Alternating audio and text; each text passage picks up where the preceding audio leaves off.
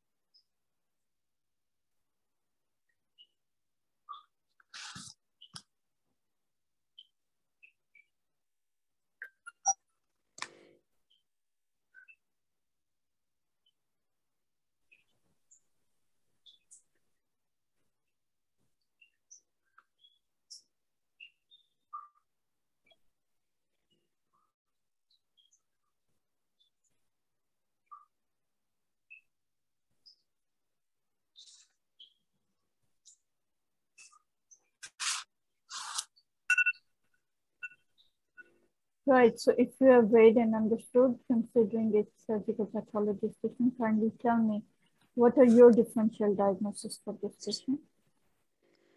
Uh, differential diagnosis, ma'am. Uh, um, adult polycystic kidney disease. Okay. Or yes. in or in any kind of renal failure. Okay. All right. Can you tell me if you consider it to be adult uh, polycystic kidney disease, how would the gross pathology be?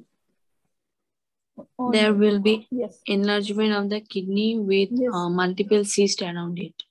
Okay. Can you tell me what is the mode of inheritance of uh, adult polycystic kidney disease? Ma'am, it is occurred due to the autosomal dominant yes. condition and where there is mutation in uh, genes like polycystic kidney disease 1 and polycystic kidney disease 2. Okay.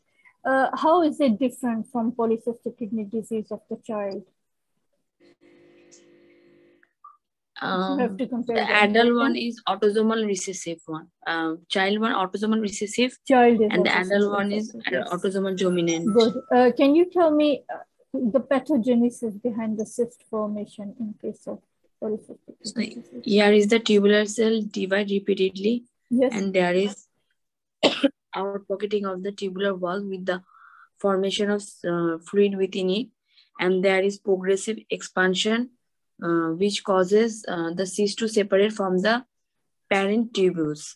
And okay. that will lead a uh, isolated cyst filled with the fluid and which expands um, together with the transepithelial secretion of the sodium chloride okay. water into the can you please tell me this uh, cyst formation can occur in other organs of the body as well? Can you name few organs? Like it can also occur in the liver, uh, brain, pancreas, yes. spleen, Good. ovary. Can you name few complications which can uh, result because of the formation or because of the presence of cyst? Like there could be a renal failure, um, hemorrhage, infections, yes. hypertension. Okay. Uh, what, uh, okay, what options can you offer to the patient then? Or in case of patient who Uh, has polycystic kidney disease, what are the management options? I will uh, ask the patient for renal transplantation. right away. Are there any other options? Uh, any other management ways that you can manage the patient? Mm, like um, um, nephrectomy. Okay, can you uh, write? Can you please tell me what is this FGF23 gene? Yes, ma'am. If you can read in the stem, FGF23, what is it? Ma'am, pass. I couldn't understand Okay. this one. Can you tell me if it's polycystic kidney disease, then how, uh, what is the mechanism behind that if patient has raised parathyroid hormones and decreased vitamin D levels? Uh, okay, uh, when uh, uh, the um, uh, during the polycystic kidney disease, there is the alteration of the tubular function. So in a normal kidney, there is um, parathyroid, parathyroid secretion. There is uh, absorption of the calcium and phosphate secretion occurs to the renal tubule as the tubular function is hampered. So yes. there is uh, reabsorption of the phosphate occurs. So as well as the renal failure develops uh, mm, due to um, loss of tubular function. Okay.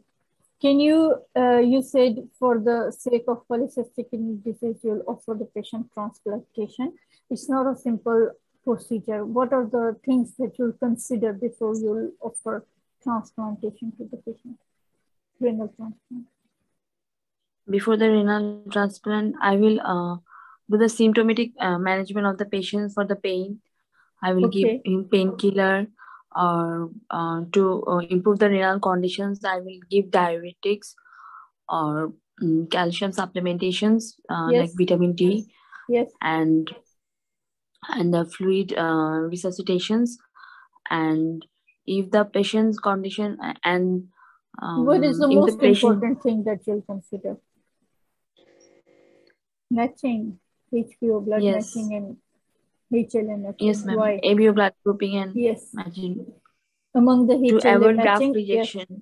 Okay. To Among the HLA matching, rejection. which one is more important? HLA DR is the most important. Okay. And HLA A, HLA B, and HLA D are the most important. What are these? These are the human, human leukocyte antigens. antigen. Yes, what, yes. Where are they located? What's the they are located on the surface of the WBC, ma'am. All right, okay. Can you tell me what are the types of rejections that you can expect to occur? Ma'am, there is hyperacute rejection, accelerated yes. acute, acute yes. rejection, and chronic rejection. When is it hyperacute?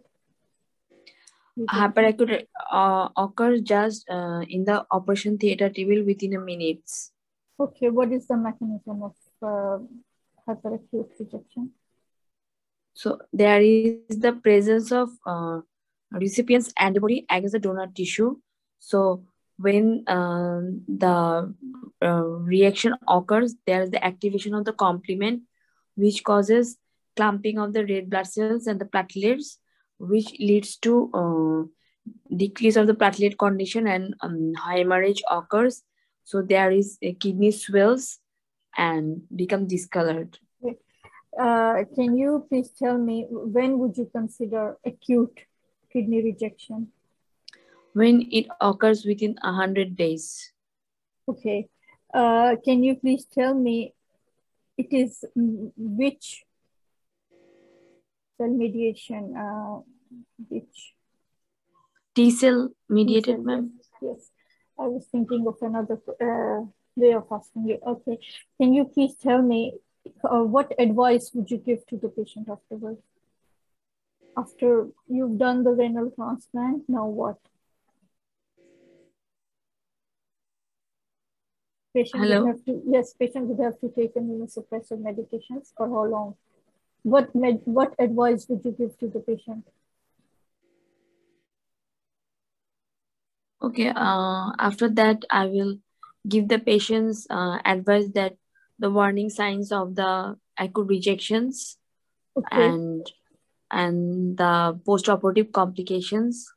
And also then uh, ask the patient for underwent uh, chemotherapy for further management. And um, as the patient is the immunosuppressive there will be chance of some uh, malignancies uh, so yes. I want warn the patient about this. Yes, ma'am. Yes, tell that about more about the malignancies. Just suppose if patient presents uh, with a redness or in, okay with a swelling or with a redness or with a rash, which is not healing, what advice would you give? How would you manage that? Ma'am. Okay, what are the locations where malignancy as a result of uh, taking immunosuppressive medications can result? There will be ma'am skin cancer like squamous cell carcinoma, then Yes. bronchial carcinoma, Yes. cervical carcinoma, Yes. uh, and uh, lymphoproliferative disease like Kaposi or Yes. lymphoma, um, and more susceptible to um, What management can you offer to the patient with uh, these carcinomas? I will treat the patient uh, with the antiviral therapy and chemotherapy. And First, some immune. the most drug. important is you'll remove the graft first. Then you take care of that. Okay. If the graft is Okay. there and you're doing all these management, nothing will happen. Can you describe what you're looking at? Image? Yes, ma'am. Can you describe the image you're looking at? Please. Um, this is the pathological kidney which showing multiple cysts around the um, kidney, ma'am. And describe the cysts. They are of different sizes, different stages. Some are The molded, Yes. Yes. there um, this is a molded and dusky color Yes. And shrunken. shrunken. Yes. Okay, good.